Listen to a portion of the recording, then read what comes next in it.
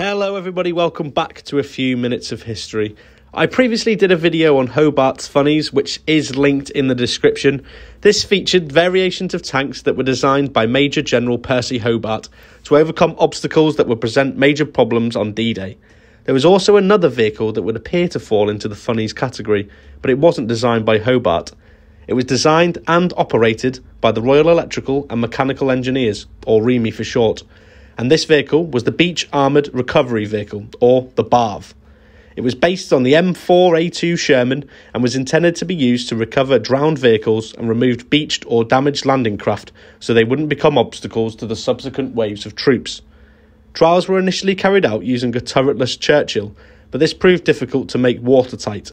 So they trialled the M4A3 Sherman, and although it performed well in the trials, the petrol engine was prone to cutting out if it got wet, so the twin GMC diesel engine variant, the M4A2, was selected, and it began its trials in December 1943.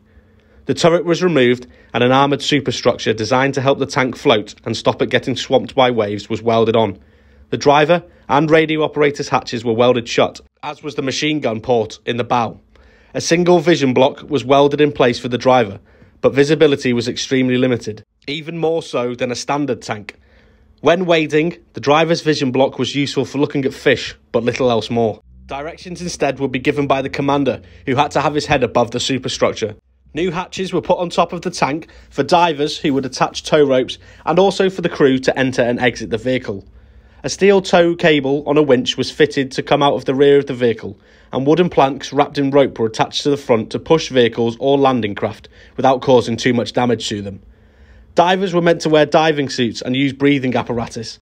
But getting on and off the tank was difficult enough, so many of them took to holding their breath and diving in their underwear. By the time the trials had finished, it was early 1944. A request for 66 gun tanks was approved and the conversions began. The deadline was March 1944. Work got underway and 52 of them were completed in time to be issued to units ready for D Day.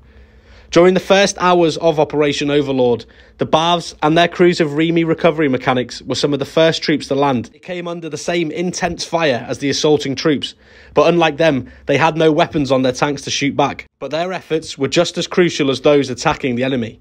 They spent the rest of the invasion keeping the beaches clear of obstacles and recovering vehicles for repair to be put back into the fight to liberate mainland Europe. Their experiences were subtly described in a typical British understatement by Warrant Officer Class 2 Artificer Quartermaster Sergeant, or AQMS for short, Eric Spick, when he said, I looked through the BARV windows. There were bullets flying around and one or two bangs going off. They definitely fit into the class of unsung heroes. There are believed to be six Sherman BARVs still in existence. One of these, which is a veteran of D Day itself, is on show at the REME Museum in Lyneham in Wiltshire. It is in the site of the old officers' mess of the former RAF Lyneham, which is now MOD Lyneham, where the training of the REME's next generations of soldiers, including the recovery mechanics, take place. It's a museum well worth a visit, and they hold many artefacts which are unique to the museum and cannot be seen anywhere else in the world. Well, that concludes today's episode. Thank you all for watching. We'll see you on the next one. Cheery bye.